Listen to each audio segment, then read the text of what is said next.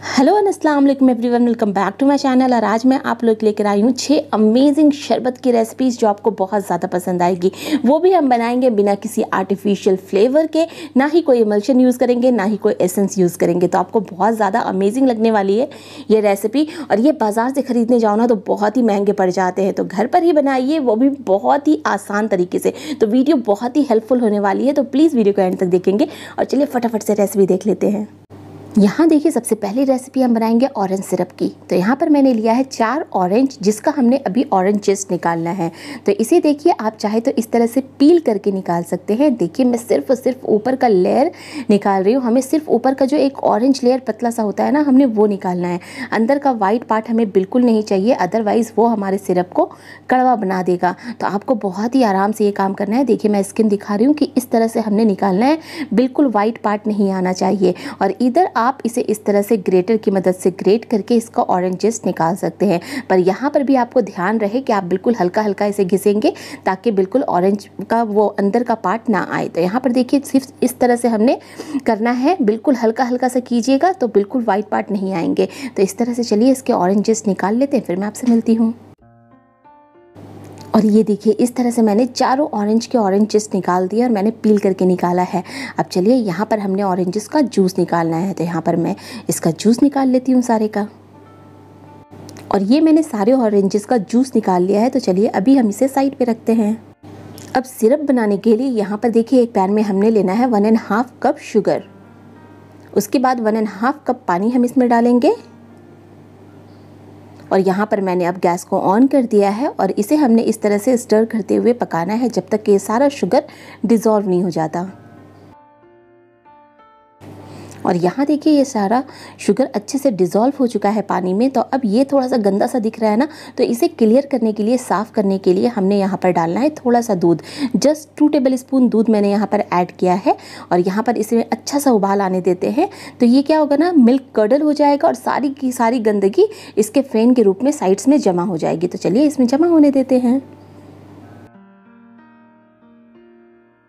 और यहाँ देखिए, ये इस तरह से साइड्स में सारे गंदगी एकदम इस तरह से झाग के रूप में तैयार हो चुका है। तो बस इसे हमने क्या करना है, एक छन्नी की मदद से इस तरह से निकाल करके इसे हमने डिस्कार्ड कर देना है। और ये देखिएगा आप, शीरा हमारा बिल्कुल, चाशनी बिल्कुल एकदम साफ़ और क्लियर हो चुकी है, ये देखिए, है ना? तो बस यहाँ पर अब हमने डालना है ये ऑरेंज चेस्ट जो हमने निकाला था।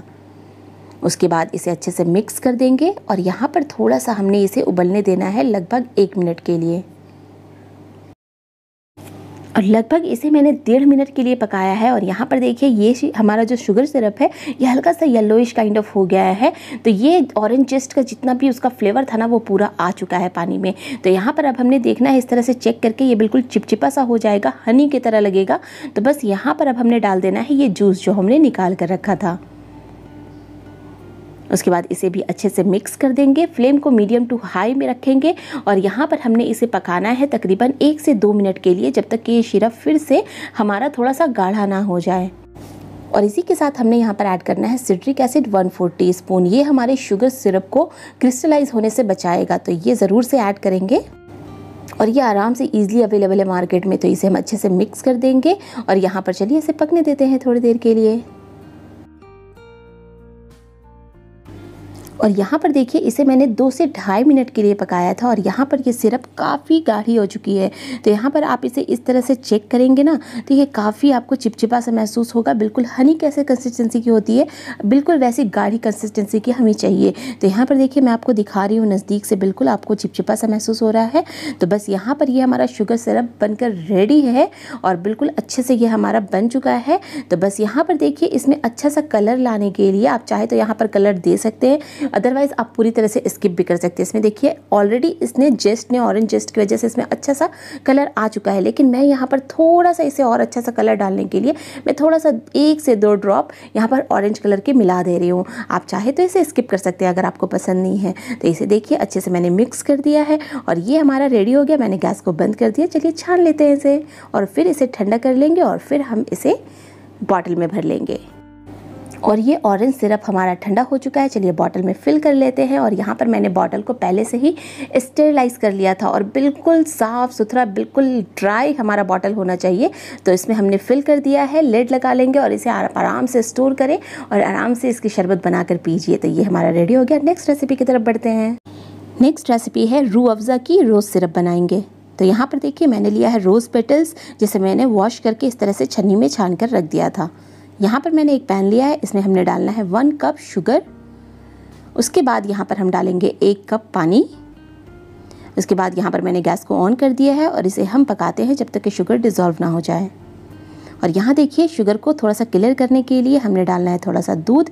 जैसा हमने सेम पहली रेसिपी में किया था ना, सारे प्रोसेस वही है। तो बस यहाँ पर ये देखिए, ये हमारा शुगर सिरप अच्छे से क्लियर हो चुका है। तो इसी स्टेज पर हमने ऐड कर देना है ये रोज़ पेटल्स जो हमने वॉश करके रखा था। तो यहाँ पर मैंने तकरीबन आठ से दस रोजेज़ को लेकर के इसके पेटल्स अलग कर ली है और ये देसी वाले गुलाब है, चाइना वाले गुलाब नहीं लेंगे, जिसमें खुशबू नहीं आती। तो ये बड़ी ही अच्छी सी खुशबू आ रही है इसमें से तो ऐसे वाले गुलाब लेंगे। और इसको अच्छे से हमने मिक्स कर दिया और इसी के साथ ही हमने यहाँ पर ऐड कर देना है ड्राइड रोज़ पेटल्स इसमें बहुत अच्छी खुशबू होती है मार्केट में ईजिली अवेलेबल है। तो हाफ़ कप मैंने यहाँ पर ऐड कर दिया है और इन दोनों को हमने मीडियम फ्लेम पर पकने देना है, तकरीबन दो मिनट के लिए। और इसे मैंने मीडियम टू लो फ्लेम पर दो मिनट के लिए पका लिया है और इसी बीच में हमने यहाँ पर इसे अच्छा सा नाइस रूअफ़ज़ा का कलर देने के लिए दो से तीन ड्रॉप पिंक कलर के ऐड कर देंगे और इसे अच्छे से मिक्स कर देंगे और ये देखिए नाइस रूअफ़ज़ा का कलर आ चुका है। और यहाँ पर थोड़ी देर पकाने के बाद में यहाँ पर देखिए इस तरह से आप चेक करेंगे ना तो ये बिल्कुल हनी की कंसिस्टेंसी पर आ जाएगा। बिल्कुल चिपचिपा सा हो चुका है तो यहाँ पर अच्छी सी खुशबू डालने के लिए मैंने रोज़ वाटर ऐड किया है वन फोर्थ कप इससे नाइस वो बिल्कुल रूहफ़ज़ा का वो सेंट आ जाएगा, बहुत ही अच्छा सा तो इसे हम अच्छे से उबाल लेंगे। और यहाँ पर देखिए, ये फिर से इस तरह से जब गाढ़ी कंसिस्टेंसी पे आ जाएगा वापस से तो हमने यहाँ पर ये देखिए, बिल्कुल अच्छे से कोट हो रहा है स्पैचुला पे। और इसे आप इस तरह से चेक करके देखेंगे, बिल्कुल चिपचिपा सा होगा हनी की तरह लगेगा। तो बस यहाँ पर ये हमारा रोज़ सिरप बनकर रेडी हो जाता है। तो बस चलिए, इस यहाँ पर हमने गैस को बंद कर दिया है और इसे हम छान लेते हैं। और इसे हमने ठंडा होने के लिए साइड पे रख देना है। और ये देखिए, ये अच्छे से ठंडा हो चुका है तो बस इसे हम बॉटल में फिल कर लेंगे। और यहाँ पर देखिए, बॉटल को मैंने पहले से स्टेरिलाइज़ कर लिया था। हर एक बॉटल को आपने स्टेरिलाइज़ कर लेना है, उसके बाद ही आपने कुछ भी यहाँ पर रखना है। तो ये देखिए, आप इसे आराम से इंजॉय कीजिए, मज़े से बिल्कुल रोअफ़ज़ा वाला टेस्ट आएगा। तो चलिए नेक्स्ट रेसिपी की तरफ़ बढ़ते हैं। तो नेक्स्ट रेसिपी हमारी है यहाँ पर ब्लू क्रैको सिरप की। तो यहाँ पर देखिए, इसे बनाने के लिए मैंने एक पैन में लिया है। एक कप चीनी। उसके साथ ही हमें यहाँ पर डालना है एक कप पानी के। फिर उसके बाद गैस को ऑन कर देंगे और इसे पकाएँगे जब तक कि शुगर डिज़ोल्व नहीं हो जाता। जैसा कि हमने सेम प्रोसेस किया है पहले ही दो अपनी रेसिपीज़ में, इसको बिल्कुल क्लियर होने तक वो सारी रेसिपीज़ बिल्कुल सेम रहेगी। तो यहाँ पर ये देखिए, ये डिज़ोल्व हो चुका है। उसके बाद हमने यहाँ पर इसे थोड़ा सा क्लियर करना है, जिसके लिए मैंने यहाँ पर दूध डाला है और फिर हम इसे भी छान कर निकाल लेंगे इसके सारे इम्प्योरिटीज़ को। और ये देखिए, ये शुगर सिरप अच्छे से बिल्कुल क्लियर हो चुका है तो इसी स्टेज पर हमने ऐड कर देना है एक एक इंच का टुकड़ा दालचीनी का दो। और ऑरेंज जेस्ट हमने ऐड करना है। एक ऑरेंज का मैंने जेस्ट निकाल दिया था, ये मैंने डाल दिया है। उसके बाद यहाँ पर मैंने एक ऑरेंज का जूस इस तरह से डाल देना है। और चलिए, यहाँ पर हमने दोनों को पका लेना है, जब तक कि ये थोड़ा सा शुगर सिरप गाढ़ा ना हो जाए। और लगभग मैंने इसे दो मिनट के लिए पकाया है और यहाँ पर देखिए इसकी कंसिस्टेंसी बिल्कुल शहद के जैसा गाढ़ी हो चुकी है। तो बस यहाँ पर हमने डालना है इसे ब्लू कलर ताकि इसका ये ब्लू क्रैको का वो कलर जो होता है वो आ जाए। तो यहाँ पर देखिए मैंने एक ड्रॉप सिर्फ़ ऐड किया है और बस यहाँ पर ये कलर हमारा आ चुका है। इससे ज़्यादा हम यहाँ पर नहीं ऐड करेंगे। तो बस चलिए इसे हमने गैस को बंद कर देना है और इसे हम छान लेते हैं एक बोल में। और इसे ठंडा होने के लिए अभी हम साइड पे रख देते हैं।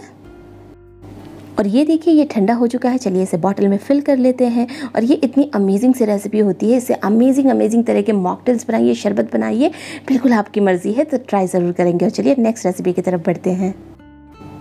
अब यहाँ पर हमने बनाना है रॉ मैंगो स्क्वैश तो यहाँ पर देखिए, इसे मैंने रॉ मैंगो लिया था, दो बड़े बड़े जिसे मैंने पील करके इस तरह से छोटे छोटे टुकड़े में काट लिया था। इसे हम मिक्सी के जार में ऐड करके थोड़ा सा पानी ऐड करेंगे और इसका हमने बिल्कुल फाइन पेस्ट बना लेना है। और यहाँ देखिए, इसका मैंने एक फाइन सा पेस्ट बना लिया है। इसे हम छन्नी में छान लेंगे जस्ट टू इंश्योर कि इसमें कोई गुठली ना हो, कोई रेशे ना हो। तो हमें बिल्कुल फाइन पल्प चाहिए। तो यहाँ देखिए, ये हमारा बिल्कुल फाइन पल्प रेडी हो गया है। और चलिए, इसे अभी हमने साइड पर रखना है। उसके बाद यहाँ पर हमने स्क्वैश बनाने के लिए एक कढ़ाई में लिया है one and half cup sugar one and half cup ही पानी हमने यहाँ पर ऐड करना है। फिर गैस को ऑन कर देंगे। और यहाँ पर हमने इसे पकाना है जब तक कि शुगर डिज़ोल्व नहीं हो जाता। और यहाँ शुगर सिरप डिज़ोल्व हो चुका है अच्छे से। और यहाँ पर अब हमने डालना है थोड़ा सा दूध। जैसा हमने पहले रेसिपीज़ में किया है ना सेम उसी तरह से हमने यहाँ पर शुगर सिरप को बिल्कुल क्लियर करना है साफ़ सुथरा करना है। तो यहाँ पर जैसे हमने बिल्कुल पहले किया था, वैसे देखिए यहाँ पर क्लियर कर चुका है। तो यहाँ पर अब हमने डाल दिया है ये हमारे मैंगो की प्यूरी जो हमने बनाया था। तो ये क्लिपिंग मुझसे मिस हो गई है। तो यहाँ पर देखिए, उसके साथ ही हमने यहाँ पर ऐड कर देना है ब्लैक सॉल्ट ये मैंने लिया है वन टी इससे अच्छा सा इसमें टेस्ट आएगा और बहुत ही अच्छा सा अमेजिंग सा टेस्ट देगा आपको। तो ये ज़रूर से ऐड करेंगे, इसे अच्छे से मिक्स कर दिया और चलिए इसे पकाते हैं थोड़ी देर के लिए। और यहाँ पर इसमें अच्छा सा कलर लाने के लिए रॉ मैंगो का थोड़ा सा हमने ग्रीन कलर ऐड किया है। तो यहाँ पर इसे अच्छे से मिक्स कर देंगे। और देखिए, अगर आप घर के लिए बना रहे हैं, आपको नहीं चाहिए कलर तो आप इसे अवॉइड भी कर सकते हैं। तो यहाँ पर इसे हमने अच्छे से मिक्स किया और पकाते हैं थोड़ी देर के लिए, जब तक ये बिल्कुल गाढ़ा ना हो जाए। और यहाँ पर देखिए, इसे पकाते पकाते ये काफ़ी हद तक गाढ़ा हो चुका है। तो बस यहाँ पर अब हमने सिट्रिक एसिड ऐड करना है वन फोर्थ टी और इसे हम अच्छे से मिक्स कर देंगे। ये हमारे स्क्वैश को क्रिस्टलाइज होने से बचाएगा। इसमें जो शुगर हमने डाला है ना, वो से क्रिस्टलाइजेशन से प्रिवेंट करेगा। तो इसे हमने अच्छे से मिक्स कर दिया है और बस कुछ सेकेंड्स के लिए पका लेते हैं और यहाँ पर देखिए, ये कंसिस्टेंसी बिल्कुल परफेक्ट है स्क्वैश के लिए। तो बस इसे ठंडा होने देते हैं। और ये देखिए, ये हमारा स्क्वैश अच्छे से ठंडा हो चुका है तो चलिए इसे हम बॉटल में फिल कर लेते हैं। तो यहाँ पर ये थोड़ी सी गाढ़ी कंसिस्टेंसी का होता है, क्योंकि ये स्क्वैश है तो स्क्वैश थोड़ी सी गाढ़ी कंसिस्टेंसी का होता है तो इसे मैंने बॉटल में फिल कर लिया। आराम से इंजॉय कीजिए तरह तरह के शरबत बनाइए, बहुत ही अमेजिंग सा लगता है। चलिए नेक्स्ट रेसिपी की तरफ़ बढ़ते हैं। और हमारी नेक्स्ट रेसिपी है मैंगो स्क्वैश की। ये जी हाँ ये रॉ मैंगो स्क्वैश हमने पहले बनाया था। अभी हम मैंगो स्क्वैश बना रहे तो इसके लिए मैंने यहाँ पर लिया एक कप शुगर साथ ही डालेंगे एक कप पानी। गैस को ऑन कर लेंगे, इसे हमने डिज़ोल्व होने तक पकाना है। फिर हम इसे क्लियर कर लेंगे, जैसा हमने पहले रेसिपीज़ में किया था। शुगर सिरप क्लियर होने के बाद में हमने यहाँ पर डालना है मैंगो की प्यूरी। तो मैंगो को मैंने छील करके उसे छोटे छोटे टुकड़े में काट करके फिर उसे मिक्सी के जार में डाल करके उसका मैंने प्यूरी बना लिया है। और इसे मैंने एक बार छान भी लिया था ताकि इसमें कुछ भी छोटी गुठलियाँ ना हो और रेशे भी ना हो। तो ये मैंने मैंगो का पल्प लिया है वन एंड हाफ़ कप हमने यहाँ पर ऐड करना है। और इसे हम अच्छे से मिक्स कर देंगे फ्लेम को मीडियम कर देंगे और मीडियम फ्लेम पर हम इसे पकाएँगे जब तक कि ये थोड़ा सा गाढ़ा नहीं आ जाता, थोड़ा सा स्क्वैश की शक्ल में नहीं हो जाता। तो चलिए इसे पका लेते हैं थोड़ी देर के लिए। और यहाँ पर देखिए, लगभग मैंने इसे तीन से चार मिनट के लिए पकाया था मीडियम फ्लेम पर और यहाँ पर ये इस तरह से गाढ़ा होने के बाद में यहाँ पर देखिए, स्क्वैश के शक्ल में बिल्कुल आ चुका है। तो जैसा हमने रॉ मैंगो स्क्वैश बनाया था ना, बिल्कुल ये वैसा ही तैयार होता है। तो यहाँ पर मैंने सिट्रिक एसिड भी डाला था वन फोर्थ टी लेकिन वो क्लिपिंग मुझसे मिस हो गई है। तो वो आप ज़रूर से ऐड करेंगे ताकि हमारा शुगर सिरप इसे क्रिस्टलाइज ना हो। तो यहाँ पर चलिए, इसे ठंडा होने के लिए हम साइड पर रख देते हैं। और ये देखिए, ये हमारा मैंगो स्क्वैश बनकर रेडी है, ठंडा हो चुका है, इसे बॉटल में फिल कर लेते हैं और ये हमारे अमेजिंग से मैंगो स्क्वैश रेडी है। तो बनाइए तरह तरह के शरबत इंजॉय कीजिए इस गर्मी में। चलिए नेक्स्ट रेसिपी की तरफ़ बढ़ते हैं। और हमारी आखिर वाली रेसिपी है, काला खट्टा सिरप बनाएँगे। तो इसे बनाने के लिए मैंने यहाँ पर एक कढ़ाई में लिया है, एक कप शुगर एक कप पानी भी ऐड करेंगे फ्लेम को ऑन कर देंगे और इसे हमने शुगर डिज़ोल्व होने तक पकाना है, फिर थोड़ा सा दूध डाल के इसके इम्प्योरिटीज़ को साफ़ करना है। और ये प्रोसेस पूरा सेम है जो हम हर स्टेप में करते आ रहे हैं, हर एक रेसिपीज़ में करते आ रहे हैं। और ये मैं इसलिए कर रही हूँ क्योंकि मेरा शुगर थोड़ा सा साफ़ नहीं था। अगर आपका शुगर साफ़ है क्लियर है तो आपको ये प्रोसेस करने की ज़रूरत नहीं है। तो यहाँ पर देखिए, इसे अच्छे से हमने क्लियर करने के बाद बाद में यहाँ पर हमने ऐड करना है ब्लैक सॉल्ट यहाँ पर मैंने वन टीस्पून ऐड किया है। उसके बाद यहाँ पर लिया है मैंने black pepper powder half teaspoon और यहाँ पर one and half teaspoon roasted cumin powder add करेंगे। और ये बहुत ही इंपॉर्टेंट है इस रेसिपी के लिए। रोस्टेड क्यूमिन पाउडर का आप बाहर में भी खाते होंगे तो आपको टेस्ट अच्छे से आता होगा। तो ये सारी चीज़ें मैंने डाल दी और इसे अच्छे से मिक्स कर देंगे और मीडियम फ्लेम कर देंगे और इसे पकाएँगे जब तक ये थोड़ा सा गाढ़ा ना हो जाए। थोड़ी देर पकाने के बाद में यहाँ पर हमने डालना है citric acid, one four teaspoon add कर देंगे और इसे हम अच्छे से मिक्स कर देंगे और यहाँ पर चलिए इसे पकने देते हैं थोड़ी देर के लिए।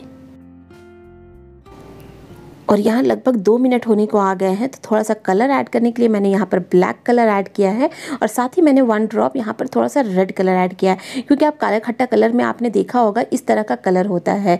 ब्लैक और रेड का एक कॉम्बिनेशन होता है, इसलिए मैंने यहाँ पर ऐड किया। और ये देखिए, ये शुगर सिरप अच्छे से बिल्कुल चिपचिपा सा हो चुका है हनी की कंसिस्टेंसी पर आ चुका है तो मैंने यहाँ पर गैस को बंद कर देना है और इसे ठंडा होने देते हैं। और ये देखिए, यहाँ पर ये सिरप हमारा अच्छे से ठंडा हो चुका है। चलिए इसे बॉटल में फिल कर लेते हैं और ये इतनी अमेजिंग सी रेसिपी होती है कि इसके साथ आपके बचपन की जो यादें हैं ना, वो ताज़ा हो जाएँगी। तो बनाइएगा, फिर मुझे ज़रूर कमेंट करके बताइएगा, मेरी रेसिपीज़ कैसी लगी हैं। और यहाँ पर मैंने एक से एक बढ़कर आपको शरबत की रेसिपीज़ दी है और बहुत ही आसान तरीके से, बिना किसी इमल्शन के, बिना किसी आर्टिफिशियल फ्लेवर के, बिना किसी एसेंस के तो आपको बहुत ज़्यादा अमेजिंग लगेगी और आसानी से आप बना पाएँगे। तो बनाइएगा, फिर मुझे ज़रूर कमेंट करके बताइएगा। वीडियो अच्छी लगी प्लीज़ वीडियो को लाइक कर दीजिए, अपने फ्रेंड्स एंड फैमिलीज़ के साथ शेयर कर लीजिए और अभी तक आपने मेरे चैनल को सब्सक्राइब नहीं किया प्लीज़ सब्सक्राइब माई चैनल और बेल नोटिफिकेशन को ज़रूर से प्रेस कर लेंगे। और चलिए, मिलते हैं किसी नेक्स्ट अमेजिंग वाले वीडियो के साथ। तब तक के लिए बाय अल्लाह हाफिज़ and thank you for watching